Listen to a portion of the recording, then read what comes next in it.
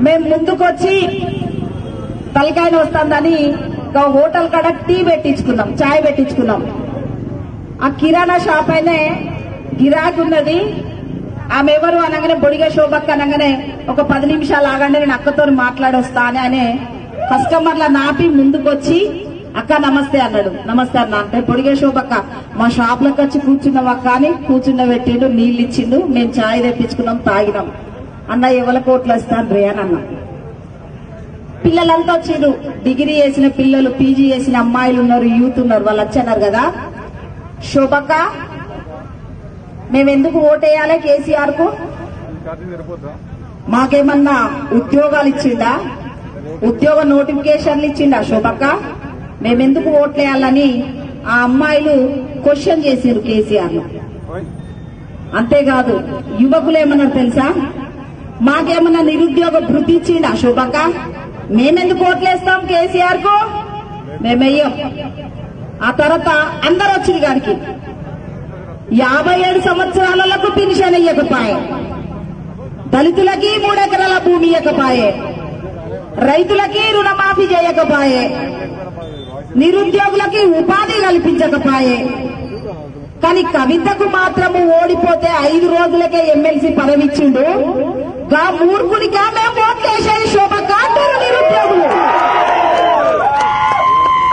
అమెరికాలో చదివి వచ్చిన కేటీఆర్ ఇవాళ మంత్రిగా అయిందంటే మా తల్లిదండ్రులు ఓట్లేస్తేనే కదా శోభక్క అయింది ఇవాళ ఒక మంచి నాయకుడికి ఇవాళ మోసం చేసిన కల్వకుట్లక శోభక్క మేము ఓటేసేది అంటారు ఓ కేసీఆర్ ఫామ్ హౌస్లో పన్నా కావచ్చు దిమ్మ తిరిగే విధంగా ఉంది పాదయాత్ర వచ్చి చూడు నువ్వు ఎక్కడున్నావో కొత్త పెళ్ళి కట్టు చూసు చూడు అద్ద మీద ఎట్లా ఉండు ఈటల రాజేందర్ నన్ను ఒళ్ళగొడితే నీ బాన్సన్ కాల్ మొక్క దొర అని నీ బానిస దొర అని అంటాడు అనుకోని నీ ఫామ్ హౌస్ చుట్టూ నీ ప్రతిభ నీ ప్రగతి భవన్ చుట్టూ తిరుగుతాడు అనుకున్నావా కేసీఆర్ ప్రజల మనిషి ఈటల రాజేంద్ర అన్న నేను ఒకటే చెప్తున్నా.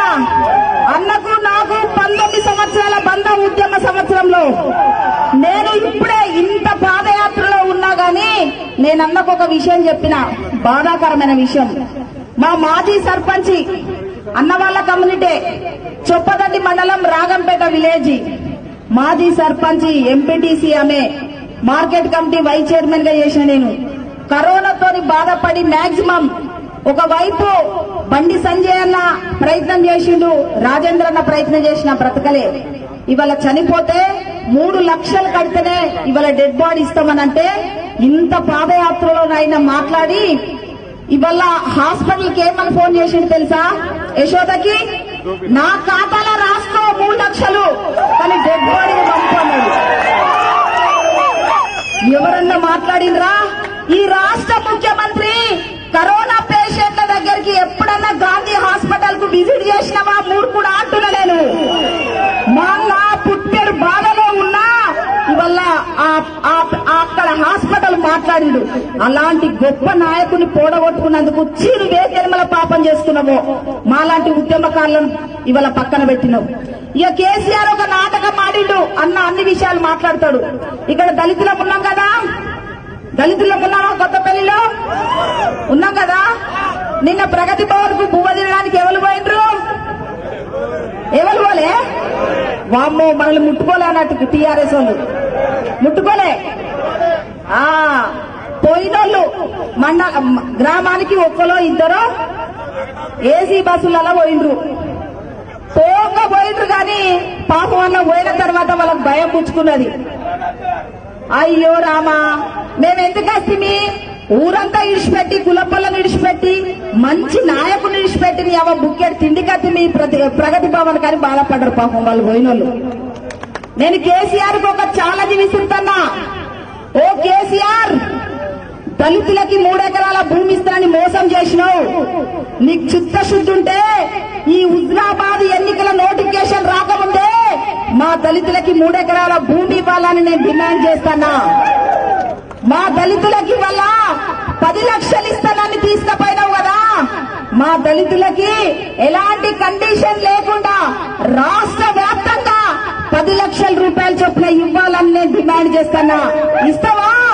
ఇచ్చి తీతానికి అంత కలేజా ఉందా? కలేజా లేదు కేసీఆర్కు అంత దమ్ము లేదు. ఎందుకు తెలుసా? ఏ బై ఎలక్షన్లైనా దళితులు పిలిచిన చరిత్ర ఉందా? ఉన్నదా? పిలిచిండా ఎక్కడన్నా దుబ్బాక బై ఎలక్షన్లు జరిగినాయి. దళితుల్ని ప్రగ- ప్రగతి భవన్కు పిలిచి బువ్వ పెట్టిండా? పెట్టిండానే? పెట్టలే. మరి మొన్ననే నాగార్జున సాగర్లో ఎన్నికలు జరిగినాయి కదా అక్కడ దళితులు పిలిచి బువ్వ పెట్టిండా? పెట్టిండా? పెట్టలే. మరి వరంగల్ కార్పొరేషన్ ఎన్నికలు జరిగినాయి దళితుల్ని పిలిచి బువ్వ పెట్టిండా?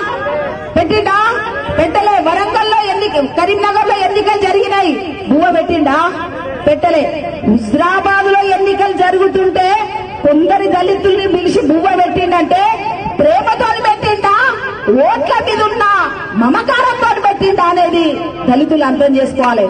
దళితుల్ని మరొక్కసారి మోసం చేయడం కోసమే ఇవాళ ప్రగతి భవన్కు పిలిచి కొందరిని పిలిచి ఆ బువ్వ పెట్టిండు.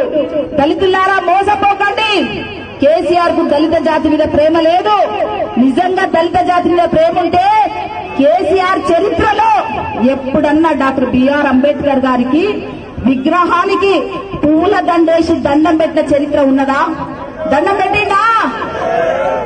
దండం పెట్టిండా అంబేద్కర్కి పెట్టలే.